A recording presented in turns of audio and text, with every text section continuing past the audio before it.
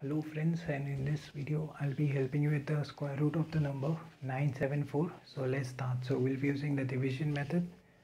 So first we need to write the number like this. The next thing we need to do is we need to form pairs from the right hand side. So only one pair can be formed and this 9 will be left out. So first we'll divide this 9 and then we'll bring down the pair. The rule is whatever number we write here we have to write here also so if we write 3 here and 3 here it will be 9 which is good to take. So 3 here and 3 here 9 subtract and 0 will be left. Now we did 3 into 3 so add both. So 3 plus 3 will be 6 and keep one digit extra.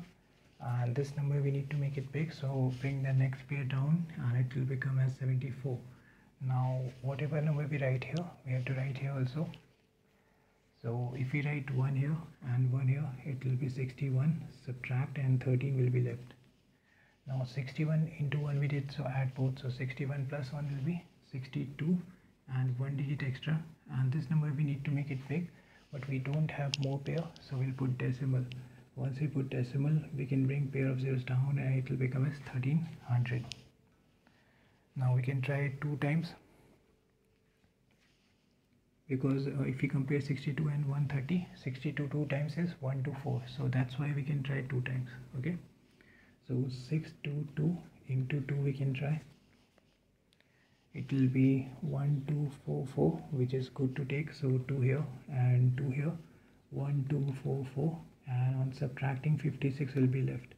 Now 6 to 2 into 2 we did so add both. So 6 to 2 plus 2 will be 624 and one digit extra. And this number we need to make it big.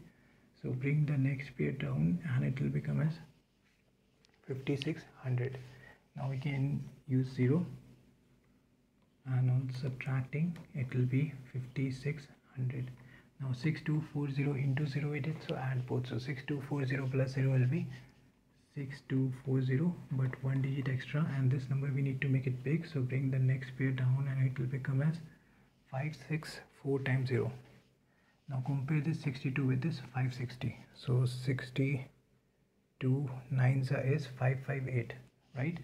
So we can try 9 times. So 62409 into 9 we can try. And it will be 561681 which is bigger.